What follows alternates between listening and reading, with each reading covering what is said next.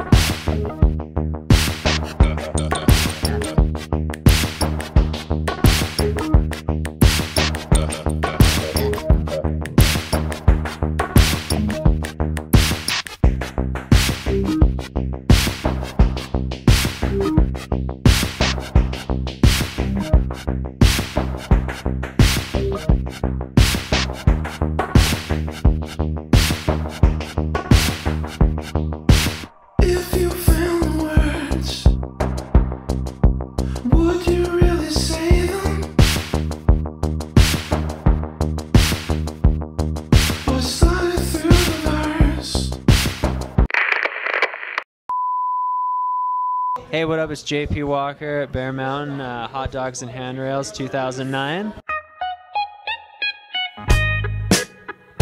It's a great way to kick off the season here in SoCal, but it's, you know, it's actually so much more than that. You know, these guys, Clayton, Dan, you know, Winslow, all the guys at Bear Mountain here, they really put on an incredible show. And uh, every year they step up the setup. And where other resorts try to do something like this, they're still five years behind.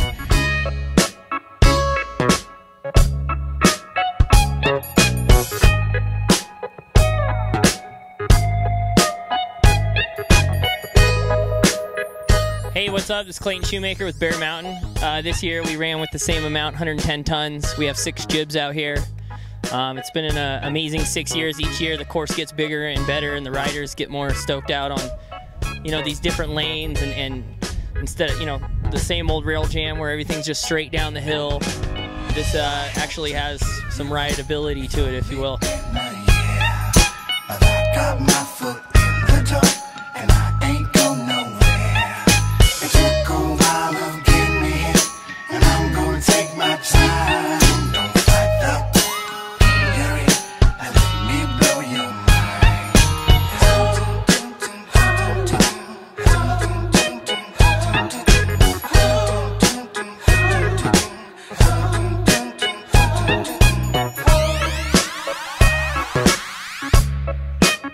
Know, you see a lot of resorts try and do this early season rail type of jib jam setup and stuff, but you know they got you see them do one rail or one box or something like that.